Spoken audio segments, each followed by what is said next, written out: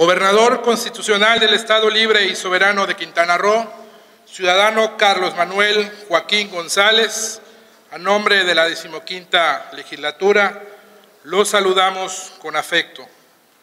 Magistrado presidente del Poder Judicial de Quintana Roo, José Antonio León Ruiz, bienvenido nuevamente a esta su casa. Licenciado José Reyes Baeza, director general del INSTE en representación del presidente de los Estados Unidos mexicanos, nuevamente bienvenido. Compañeras y compañeros, diputados y diputadas integrantes de esta decimoquinta legislatura, quintanarroenses todos, hoy tengo la responsabilidad de representar al Poder Legislativo en este trascendental acto republicano donde el Ejecutivo Estatal ha entregado su primer informe del ejercicio de gobierno que por mandato ciudadano asumió aquí mismo en esta tribuna ciudadana. El mensaje que a continuación daré contiene lo que esta soberanía emanada del voto popular ve, reflexiona y considera como logros y retos del gobierno estatal. Pero también hablaremos de lo que los quintanarroenses el pasado 5 de junio plantearon cuando mayoritariamente votaron por un cambio en la manera de ejercer el servicio público. Los datos, cifras y acciones de este gobierno las revisaremos con profundidad, puntualmente y de forma responsable, cuando uno a uno los titulares del Gabinete Legal y Ampliado comparezcan ante esta soberanía en la glosa del informe. Pueden estar seguros los ciudadanos que cumpliremos cabalmente con nuestra función de revisar el trabajo de los servidores públicos en este primer año de gobierno. El 5 de junio de 2016, los ciudadanos emitieron con su voto un mandato claro.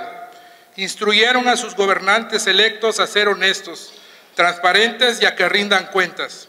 Los ciudadanos demandaron un cambio ético y de conciencia al gobernar, no solo un cambio de nombre, de partido o de grupo político.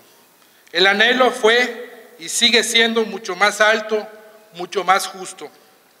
Ciudadano gobernador Carlos Manuel Joaquín González, usted representa ese ideal de cambio.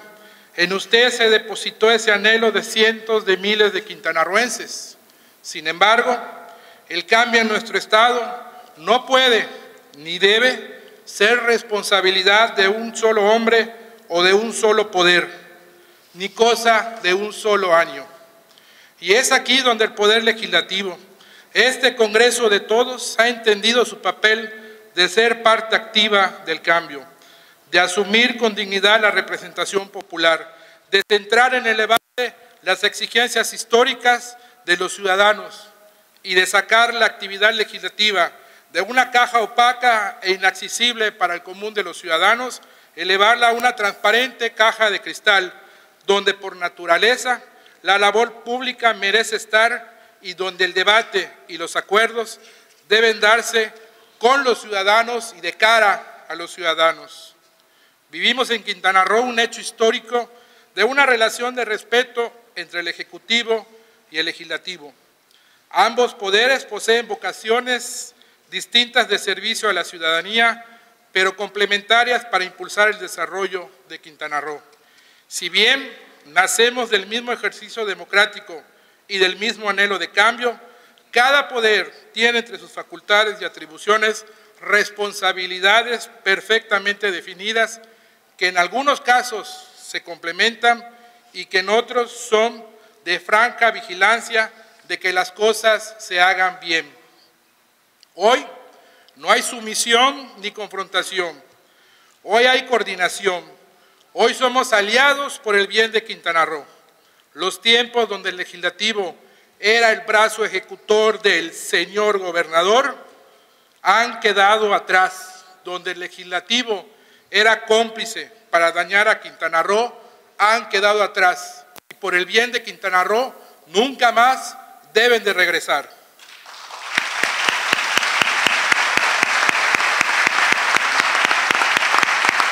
Reconozco la voluntad de construir de todos y cada uno de los 25 diputados y diputadas que integramos esta decimoquinta legislatura. Los avances no hubieran sido posibles si hubieran aprobado los diversos eh, acuerdos que hemos tomado. Como aliados del Poder Ejecutivo, rompimos, rompimos el blindaje de impunidad que la anterior legislatura y el gobernador confeccionaron para cuidarse las espaldas. También hemos sido aliados para tomar lo que consideramos la decisión más importante de este primer año de gobierno, haber refinanciado la deuda pública. Este refinanciamiento le dio viabilidad al gobierno, evitó la parálisis operativa y permitió estabilizar a un barco que francamente estaba al borde del naufragio.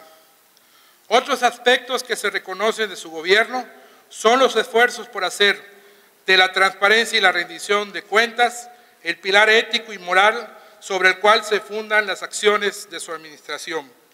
El manejo de la deuda, los gastos en comunicación social y los viáticos de los servidores públicos son un claro ejemplo. Hoy, en Quintana Roo, podemos decir con certeza que se respeta la libertad de expresión. Se es abierto ante la crítica y tiene nuestro reconocimiento este gobierno por hacer todo lo que está en sus manos para llevar ante la justicia a quienes abusaron de sus cargos públicos, a quienes dañaron el patrimonio del Estado. Sabemos que tarde o temprano todos, todos se enfrentarán la misma suerte que el preso de Panamá. Quintana Roo no es ajeno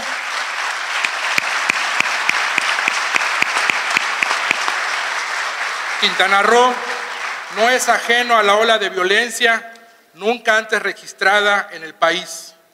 Y por nuestro potencial económico, por nuestra vocación turística, nos debe de importar y ocupar a todos, a las autoridades y a los ciudadanos.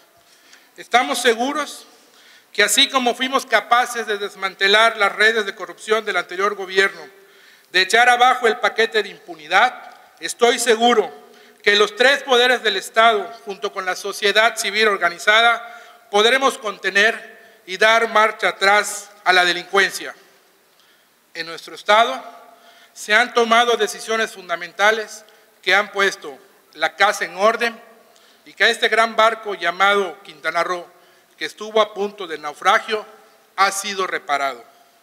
A partir de ahora, ya ningún servidor público emanado del cambio emanado de la alternancia, incluido nosotros los diputados, podremos justificar la falta de resultados echando culpa a los que se fueron. Ciudadano gobernador, estamos conscientes que la expectativa que generó este cambio aún no se satisface. El reto de los poderes aquí representados será cumplirle a los quintanarroenses. Vayamos de frente, llevará tiempo, pero juntos lo lograremos. ¡Que viva Quintana Roo!